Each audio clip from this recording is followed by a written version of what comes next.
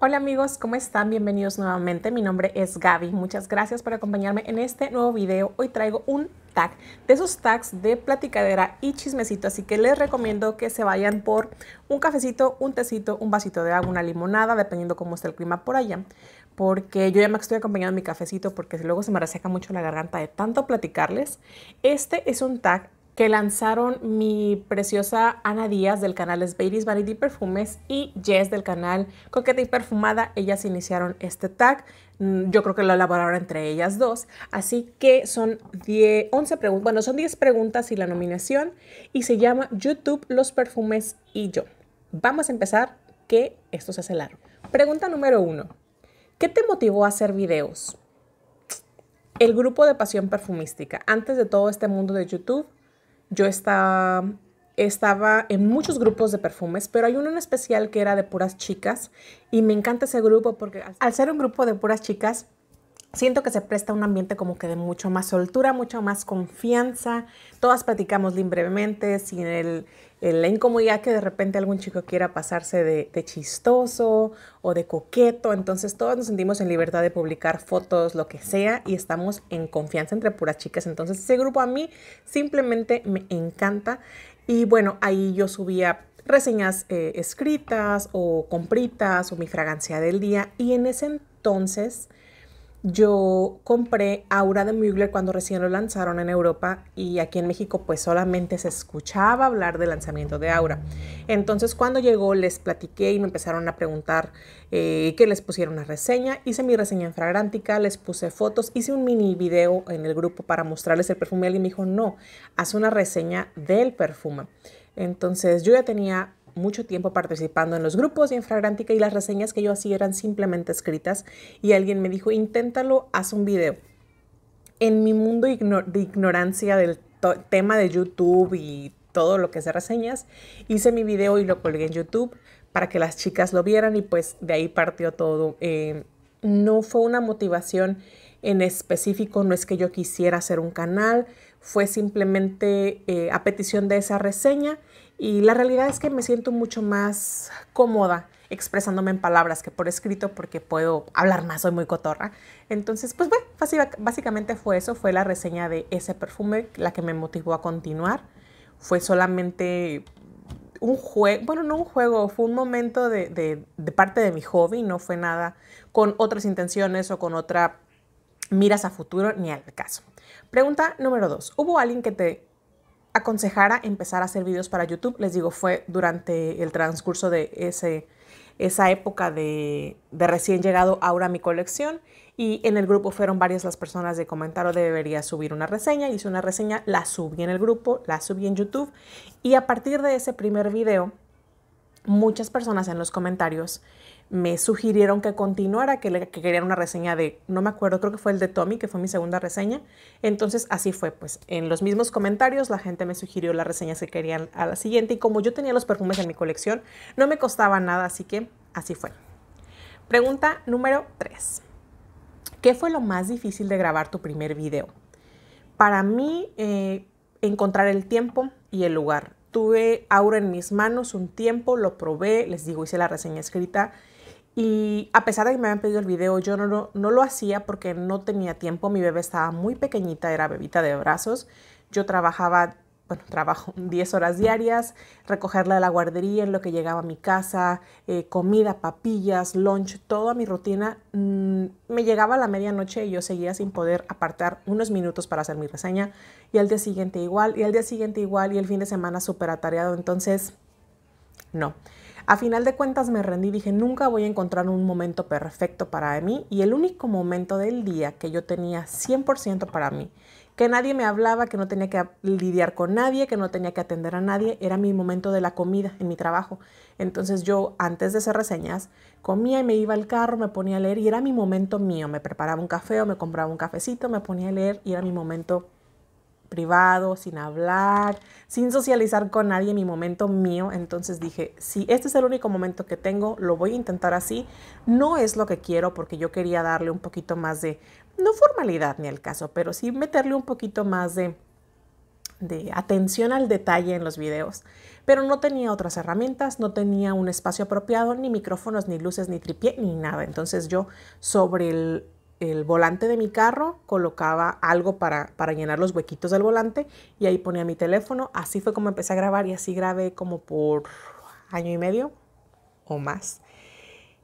Y llegó el momento en que ese escenario me pareció bastante cómodo, me gustaba porque incluso cerrando mis vidrios la acústica era bastante buena, no ocupaba un micrófono, sí tenía una que otra interrupción, sí tenía una que otra interrupción de ruido, claro que sí, porque estaba en un estacionamiento público, entonces de repente llegaba el carro de al lado y pasa, azotaban la puerta, o hacía mucho calor y yo me encerraba en el carro, o sea, sí tuve muchos inconvenientes, pero a final de cuentas le agarré cariño a ese espacio que era mi espacio para grabar, hay mucha gente que me criticó por eso, hay mucha gente que no se quedó en el canal porque no por mis reseñas, porque no le gustaba el lugar, se les hacía inapropiado o se les hacía muy poco, muy poco formal, pero vamos, esto es un hobby, son reseñas de perfumes, ¿qué tanta formalidad puede haber? Para mí no era como pues qué busca, ¿no? Es algo, es una plática para mí entre amigas. Yo he llegado a, tener mucho cariño por mi comunidad, conozco a varios de ustedes, entonces para mí es como platicar con una amiga y yo puedo platicar con mis amigas en un restaurante caro, en un estacionamiento, sentadas en la banqueta, fuera de mi casa, en el pasto, o sea, yo puedo platicar con mis amigos donde yo me sienta cómoda con ellos, entonces no me parecía algo tan, tan relevante. El tema del, del audio y eso sí, aparte que cero sabía cero de edición y, mis, mis, videos era one shot only, era grabar de principio a fin, sin corte, sin edición, sin nada, porque ni siquiera sabía hacerlo. Pero bueno, así se aprende. Pregunta número cuatro. ¿Cómo, cuándo y dónde grabas? Desde que comenzó la pandemia, grabo en mi casa todos los días. Esta pared que ustedes ven de fondo es una pared eh, limpia que tenemos en parte de mi sala porque es donde ponemos las laptops cuando tenemos videollamadas o algo así para que no se ve el fondo, la casa o gente pasando, es un área donde no hay tránsito. Perros. Entonces ahorita grabo aquí. Un tiempo grabé en el patio porque se me hacía más cómodo al aire libre pero no encuentro mi lugar aún. Mi casa todavía está en construcción. Algún día les voy a platicar de eso, pero cuando tenga mi espacio propio para grabar cómodamente y así a mis anchas, se los voy a mostrar. Tengan por seguro que sí, pero ahorita estoy utilizando esta pared de fondo porque es una pared blanca y otras paredes en mi casa, pero eh, están en otros tonos y cosas que para mí distraen mucho del mensaje que es la reseña como tal. Entonces soy muy, muy básica en todo el término de estética y de decoración y entonces así, yo soy así visualmente plana. Porque a mí me encanta ver los videos de mis amigas que tienen en el fondo sus perfumes, pero yo siento que yo, yo Gaby, me distraigo un montón. Me distraigo viendo lo que está atrás y el que está acá y el frasquito. Entonces como yo soy así, por eso procuro hacer un fondo plano para, para que para mí sea más fácil. Y pues así, ahorita es como estoy grabando en mi casa, eh, cuando voy a trabajar grabo en mi carro, pero pues ahorita desde casa. Pregunta número 5. ¿Por qué videos de perfumes?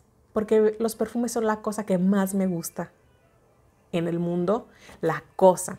La otro, los otros temas que me encantan son sobre libros, pero al igual que los perfumes no soy experta en nada, yo leo lo que me gusta, me pongo lo que me gusta, entonces eh, si tuviera que hablar de algo que me apasiona sería libros o perfumes y me decidí por perfumes porque siento que me emociona más hablar de eso. Si yo les platicara historias, no hombre, aquí nos agarran las 2 de la mañana y yo no me voy a callar jamás porque yo cuando empiezo un libro no puedo terminar, tengo un serio problema con el tema de la lectura, entonces por eso, porque los perfumes son la cosa que más me gusta, no es de lo que más sé porque les mentiría si dijera que sé más de esto, pero en realidad no, soy un aprendiz soy eh, amateur como todos ustedes, solamente consumo perfumes porque me gusta, les platico de mi experiencia, de lo que yo percibo. Yo no soy química, yo no soy perfumista, no soy nada de eso, así que en realidad mi experiencia es, o sea, solamente empírica, es lo que yo he podido probar, lo que a mí me gusta y de eso les platico.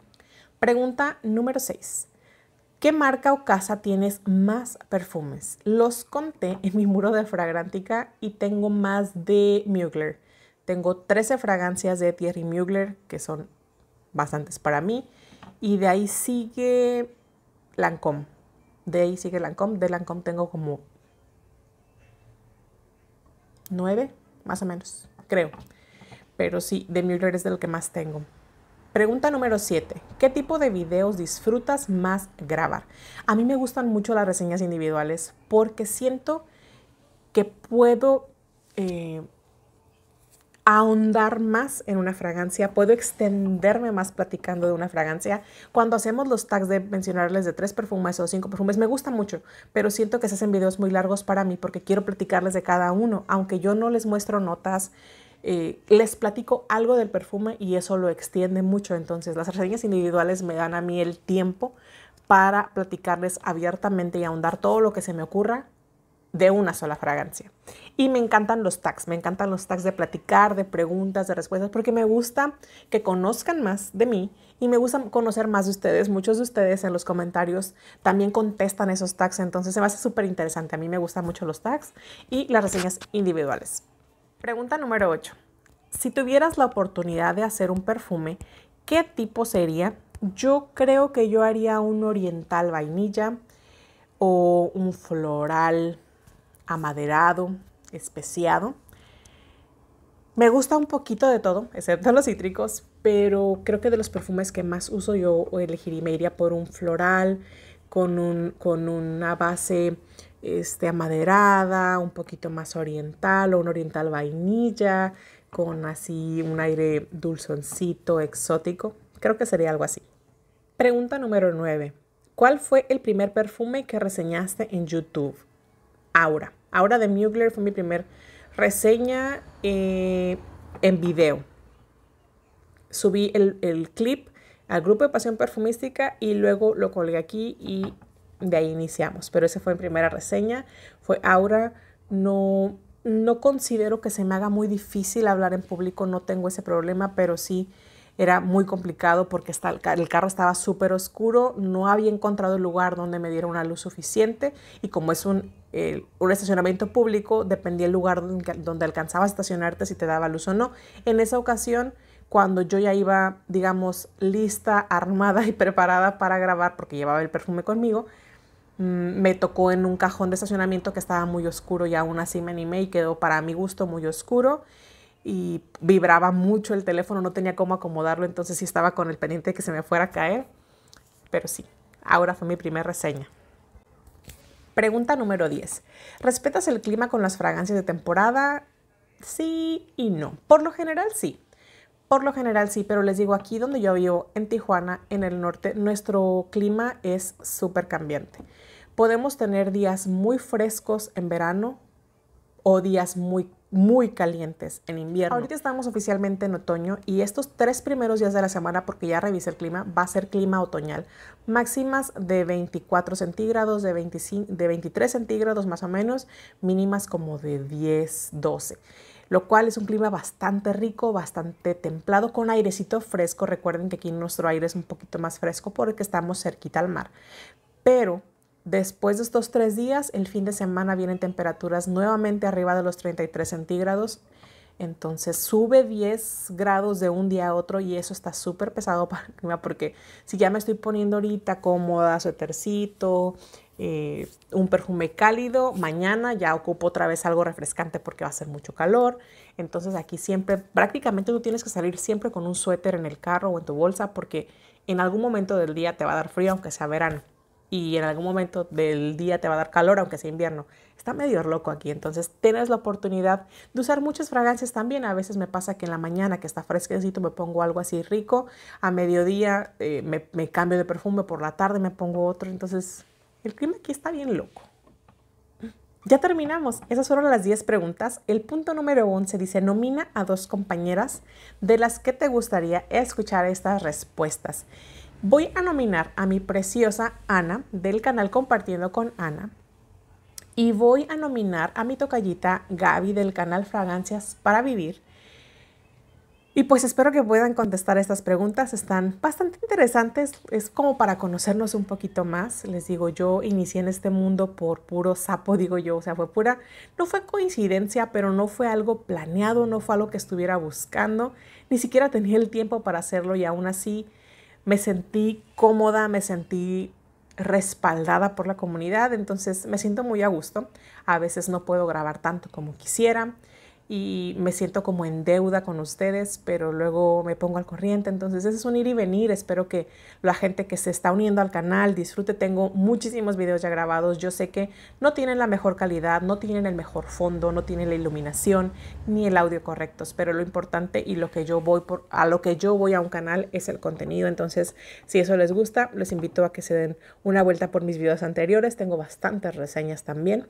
Y pues muchísimas gracias por acompañarme en este nuevo video. Chicas preciosas, Jess y Anita, muchísimas gracias por este tag, muchísimas gracias por la nominación. Nos vemos en un próximo video. Que tengan una excelente semana. Chao.